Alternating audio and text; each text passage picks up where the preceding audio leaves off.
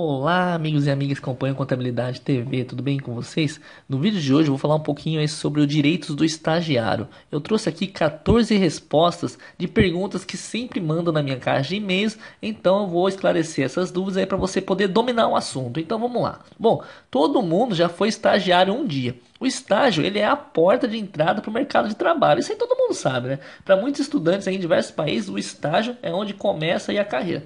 É uma oportunidade de adquirir experiência na área em que pretende atuar, assim que formado ou que deseja conhecer para decidir sua futura profissão. Bom, dados da Associação Brasileira do Estágio de 2015 revelam que os índices de contratação de estagiários ao final do curso superior chega a até 60%. Isso é, as chances de efetivação em corporações que se atuam são muito grandes Apesar de ser uma atividade que envolve treinamento, o estágio ele não pode prejudicar os estudos. Por isso, no Brasil, tem uma lei que define as regras para a contratação de estagiários, que é a Lei número 11.738, de 25 de setembro de 2008, que alterou a redação do artigo 428 da CLT, que até então orientava estagiários, aprendizes e empresas. Portanto, e contudo, muitos estudantes, estagiários e até profissionais de recursos humanos permanecem com dúvidas acerca do assunto. Pensando em esclarecê-las, eu elaborei para você essas dúvidas aí que são sempre mandadas na minha caixa de e-mail. Então vamos lá. Bom, afinal, o que é estágio? Essa é a primeira dúvida que mandaram na minha caixa de e-mails. O que é o estágio? Isso aí muita gente sabe, né? É até meio óbvio, mas acredito que tem gente que não sabe o que é o estágio.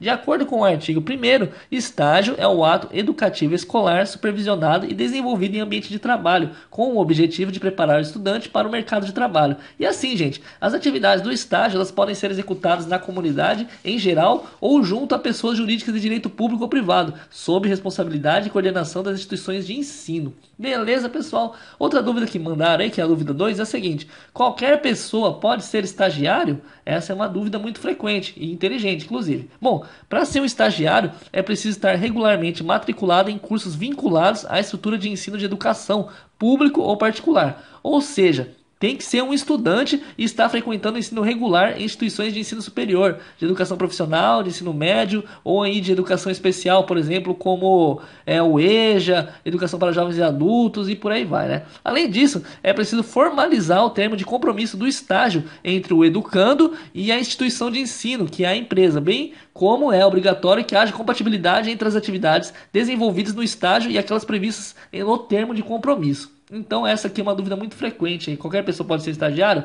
Tá respondido aí para você. Tem que estar tá estudando e aí sim você pode ser um estagiário.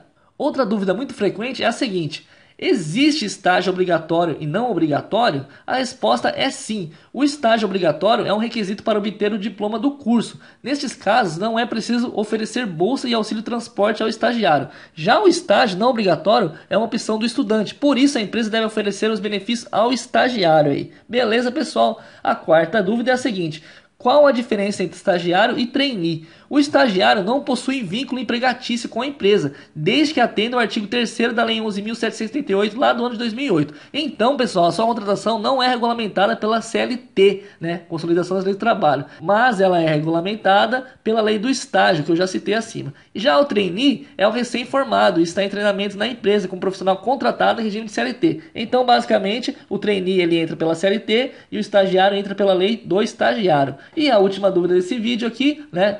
A quinta e última dúvida desse vídeo é a seguinte: quero estagiar, o que eu tenho que fazer? Bom, o estudante que encontrou uma vaga de estágio, ele deverá firmar o termo de compromisso, que é um documento celebrado entre as três partes envolvidas. Uma delas é o estudante, a instituição de ensino e a empresa concedente do estágio. Nesse momento, deverá ser observado se as condições do estágio atenderão às propostas pedagógicas do curso, os horários, o calendário escolar e a modalidade de formação escolar. Ou seja, para estagiar será necessário haver a compatibilidade entre as atividades desenvolvidas no estágio e as previstas no documento. O termo de compromisso pode ser rescindido a qualquer momento por qualquer uma das partes.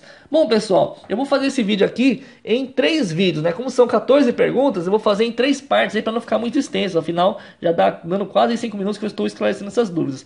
Se você ficou com alguma dúvida sobre esse vídeo, deixa aqui nos comentários que eu vou ter o maior prazer em responder. Quer comprar a apostila de contabilidade? Solicite o catálogo em contabilidade.tv@hotmail.com para poder entender mais sobre o assunto. Muito obrigado que assistiu o vídeo e até a próxima aí. No amanhã tem um outro vídeo sobre estagiário aí falando outras dúvidas para você. Deus abençoe. Fui.